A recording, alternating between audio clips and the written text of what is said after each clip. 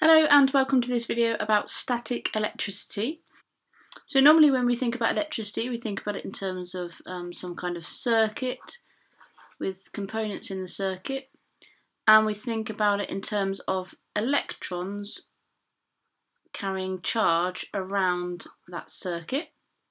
And with, the, with this electricity the key difference is that the electrons in a circuit like this are allowed to flow with static electricity, there's a bit of a problem whereby the electrons or the charge can't flow. So this word static is really important and it will help us remember that we've got this situation where charge can't flow.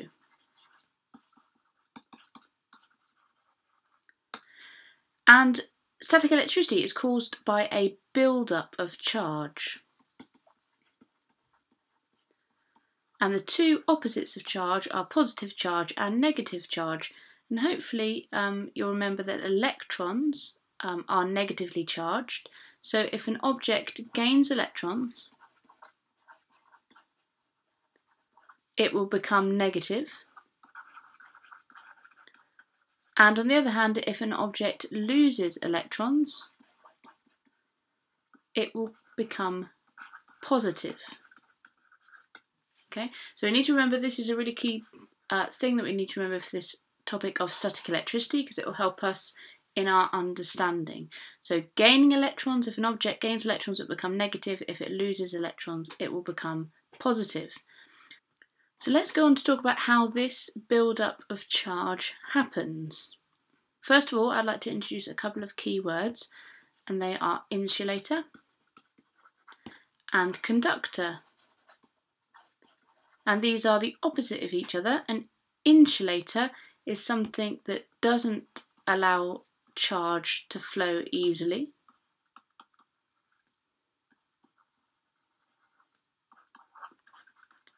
And in the opposite, a conductor is something that allows charge to flow. So some types of materials that are good conductors, well the main one um, and the most important are metals. All metals are good conductors and you may well remember a diagram for a metal perhaps looking something a little bit like this. Um, this comes about in the chemistry where you would have seen like the metallic bonding where you've got a regular arrangement of positive metal ions and then you have free electrons or delocalized electrons that are allowed to flow through.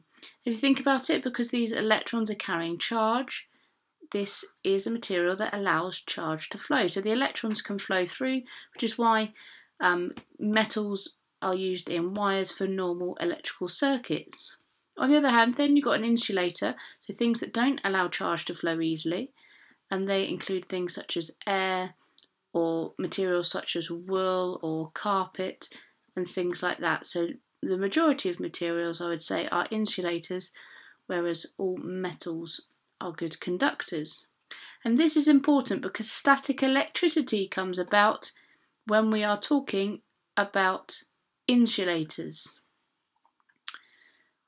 So you can't build up charge in a conductor because the charge will just flow through. That's why earth wires are made out of metal because earth wires are a safety feature which allow um, current to flow through. So earth wires,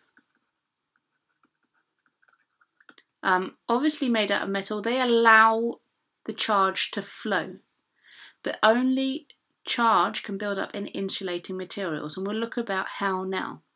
So to do that, we need to remember um, what we said just previously, and that's the idea that when you're charged, you can either become positive or neg- negatively charged, depending on when the, whether you give or take electrons and to cause two insulating objects or insulating materials to become charged, you literally have to rub them together.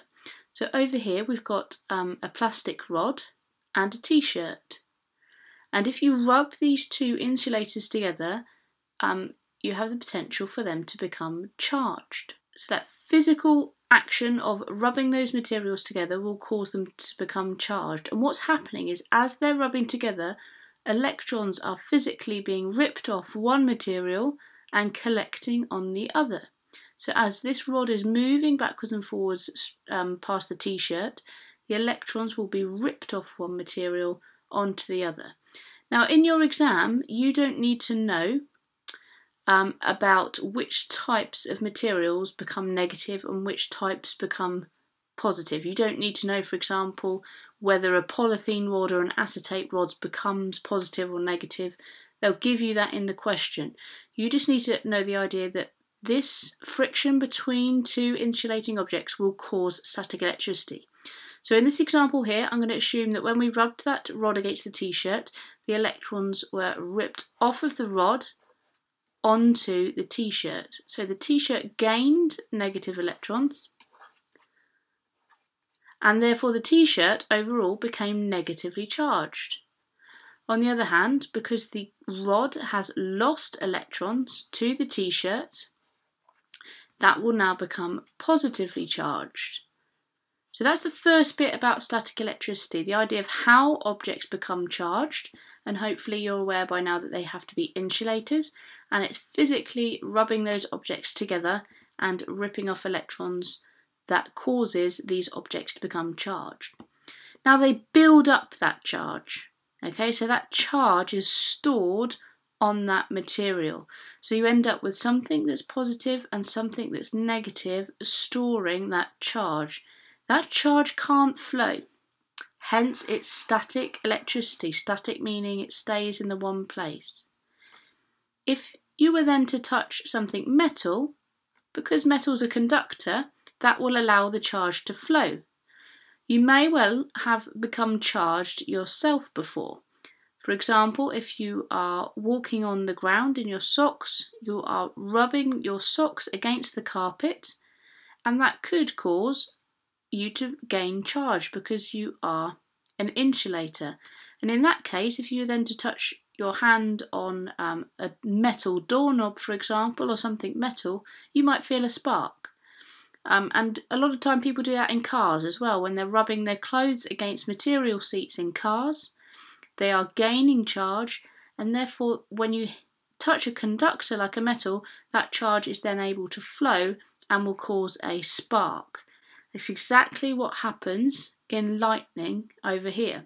So, lightning is caused because in clouds, you will get a build-up of charge. It kind of collects as positive charge at the top of the, these storm clouds, negative charge at the bottom, and then it will cause a spark down to earth where that charge needs to discharge and go down to earth as lightning. On a Van de Graaff generator as well, you may well have seen those in school. Um, inside this, there's a belt and there's two insulating materials rubbing together, producing a, a charge in different areas of this machine. This sphere builds up charge on the top, and if you touch it, that will then cause your hair to stand on end because each of your ends of your hair has the same charge that is then repelling each other.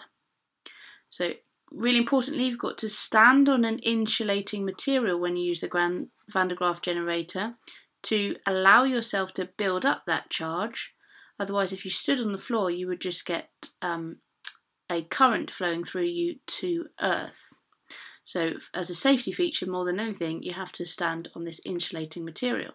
The second key thing to remember is the idea that like charges will repel each other, as seen over here. So, if you bring two like charges together, they will repel. Like charges is just the word we use for the same, so positive and positive will repel each other. On the other hand, if you put a positive charge and a negative charge together, they will attract each other. So like charges repel, but opposite charges attract. So in both of these cases, when these two charges are interacting with each other, they experience a, a force um, between them. It either be a repulsion force, if they're repelling each other, or and attraction force. And it's all to do with the fact that these materials are now charged. Um, so it's a kind of electrostatic force might remember this word from chemistry when we're talking about electrostatic forces um, in ionic compounds where you've got positive and negatively charged ions, this electrostatic force of either attraction or repulsion between these charged objects.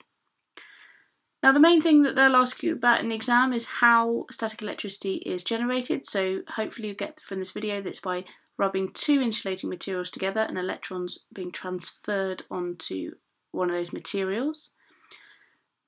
They won't ask you in detail about van how Van de Graaff's generators work, and they won't ask you in detail about how lightning works. Okay, there's just a couple of examples that they might include in questions, but the main thing is asking your understanding of how static electricity is generated, and also they might ask you to apply your uh, understanding of these two things the idea that like charges repel and opposite charges attract. So thanks very much for listening. If you found this video useful, then please press the like button below and feel free to subscribe.